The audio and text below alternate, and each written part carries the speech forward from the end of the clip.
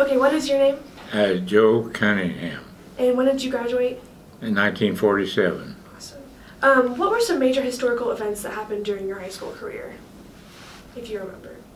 Well, a lot of sports, uh, basketball and football, and I don't know of any major things happening Mhm. that period.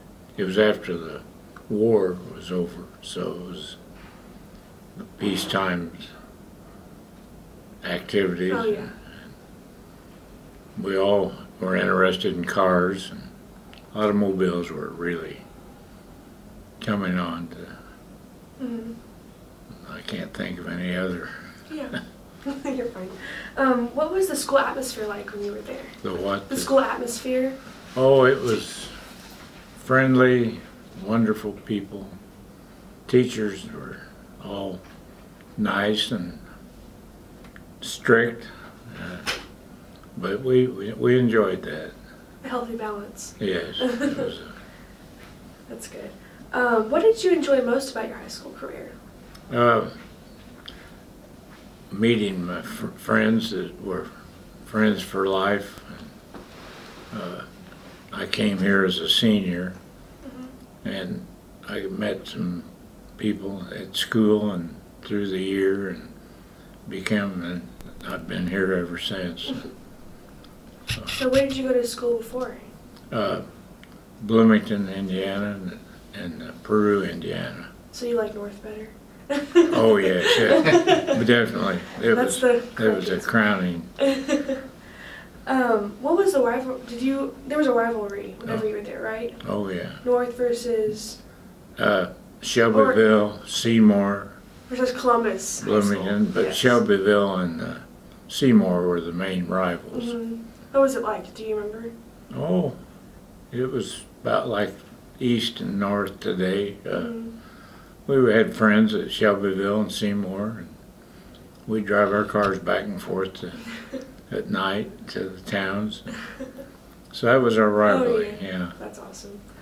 Um, what was your favorite class and why? Uh, English. Mhm. And the reason was the teacher was Carrie Ong was their English teacher. And I think she was just an excellent teacher. That's awesome. Um, what was your favorite? So your favorite teacher was your English teacher then? Yes. Or- awesome. Yeah. Um, what were your favorite restaurants in Columbus? Well, we had the, the Gauze Cafe was downtown. That was kind of a all meal restaurant. Mhm. And then we had Taylor Brothers, and uh, it was up near the fire station. Gotcha. It was later became Saps. And You've heard a lot about that. and then the uh, the Greeks. oh yeah. The Greeks was our main hangout hmm after school, and still is, I guess. It's a, yeah, we'd go down to the Greeks every afternoon after school. awesome. So would you go off campus for lunch or would you stay here for lunch? I'd go off campus. I'd, I'd go home. You go home. I live just four blocks from school, Oh, gotcha. so I'd go home for lunch. Awesome. Um, so the hit place to meet up was Greeks then, you would say? Yeah, that was the main.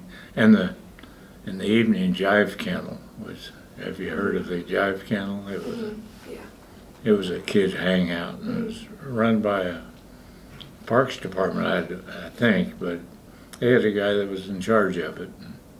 It was a ping pong and that's cool. a good place. It was on the corner of Franklin and uh, Third Street. It's where's the law office now.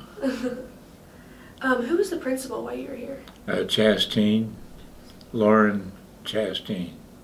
Okay, cool. Um, did you have to do any senior projects or papers? No, no, we None didn't. of that? At least I wasn't involved in any. Gotcha. Um, and what did the yearbook look like when you were in Uh, high school? Well, this is the log. Do you know what And that was, I've, I've kept it all through the years. That's awesome. Yeah, Um, and how many people were in your school total uh, twelve hundred, for all four years? well, I was just here one year, Oh, yeah. Well, for the whole school. yeah. Um, and what were the hot styles back then? Like, how would you wear your hair? Shoes? Oh, the hair was not long. It, uh, I had wavy hair, so it was fairly short. And we wore sweaters and shirts and no blue jeans or.